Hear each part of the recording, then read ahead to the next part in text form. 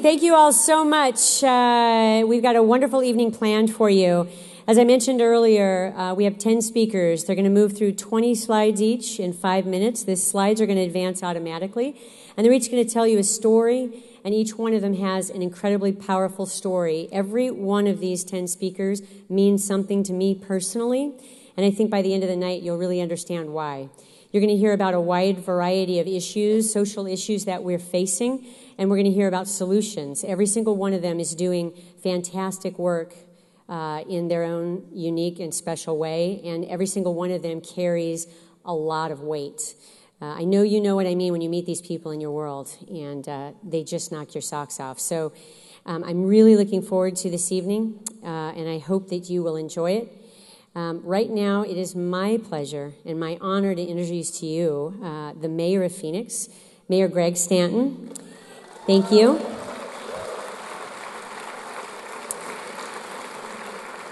Mayor Stanton has been a long time and uh, very vocal proponent of independent businesses and Local First Arizona specifically for many, many years since he was a council member.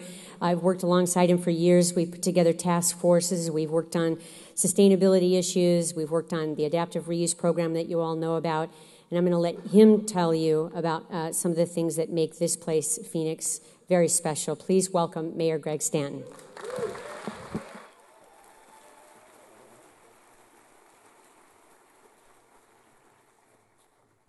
All right, good evening, everyone. Welcome to Phoenix. Isn't this a beautiful Orpheum Theater in downtown Phoenix? Great example of historic preservation. I have learned during my time as mayor. You want to be a successful mayor of Phoenix? Just do what Kimber tells you to do. It makes life a lot easier. Everything goes smoothly.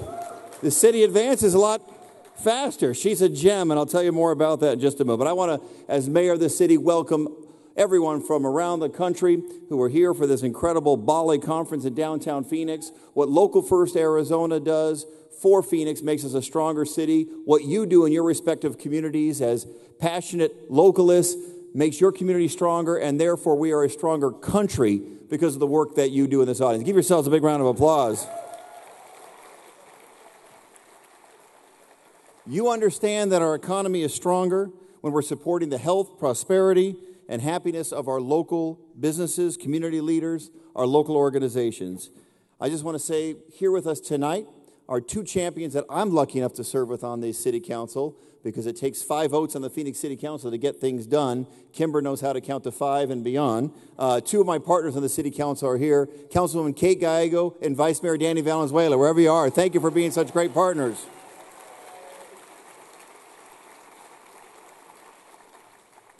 And of course, I and all of the city of Phoenix owe Kimber Lanning a sincere debt of gratitude, not only for bringing this awesome conference to our city, but because she lives, breathes, eats, drinks.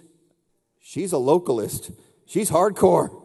She's the founder and executive director of our localist organization, Local First Arizona. She's a successful entrepreneur and economic specialist, and I am convinced that there is nothing that she can't do.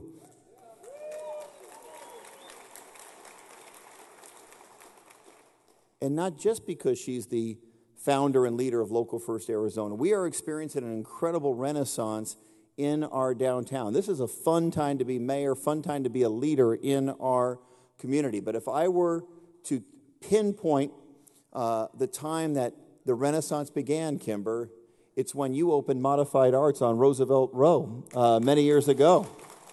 That will go down in the history books as a courageous decision, and we have come a long way uh, since then. So when Kimber first told me about the BALLE conference was coming to Phoenix, I personally was very excited. What a great opportunity to share our experiences and ideas about strengthening local economies. Incredible opportunity to hear from leaders across this country who share that vision. You are doing such meaningful work in your respective cities and industries. And that is inspiring to us here in Phoenix. It's inspiring to us as a community, but it's also inspiring to me as an elected official. It's your hard work, your creative ideas, your entrepreneurial spirit and organizations that aspire us as elected officials to create public policies that support and grow our local economy.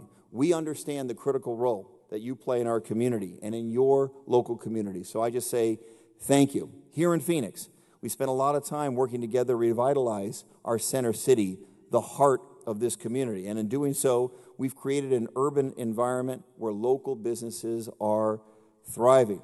We found ways to preserve our historic character and charm through a robust adaptive reuse uh, program, mainly authored by Kimber Lanning, which allows us to cut through red tape and breathe new life into older buildings.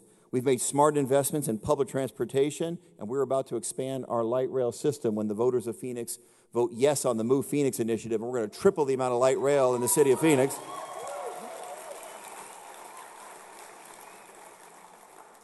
And what Kimber taught us is to put people first. We have sent a message that Phoenix is open to everyone. Uh, two years in a row, we have earned a perfect score as a city from the Human Rights Campaign Equality Index, which is a measure to show how much, thank you, cities are doing to support inclusive policies. It is a priority for our city. It is great for business here in Phoenix, Arizona. Together, we are ensuring that everyone feels welcome in our city. We're embracing and promoting our vibrant and diverse arts and culture communities. And you're going to hear tonight from some incredible individuals who are helping to shape our local culture. There are some incredibly inspiring and passionate local thought leaders who are making a huge impact on the future of our city and our uh, economy. So, as mayor, I'm excited to help to host this uh, conference, and I'm excited to sit right down in that audience and hear from these incredible thought leaders. Thank you, Rabali leaders, for being here in Phoenix. It's going to be a great conference.